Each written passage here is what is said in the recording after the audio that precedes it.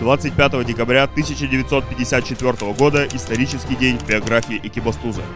В этот день машинист экскаватора СЭ-3 Николай Николаевич Колотев загрузил углем первый железнодорожный состав. Вагоны под погрузку подал машинист паровоза Пинчук. С этого дня начинается отчет промышленной угледобычи в Экибастузе и берет свое начало угольная река, которая течет и поныне.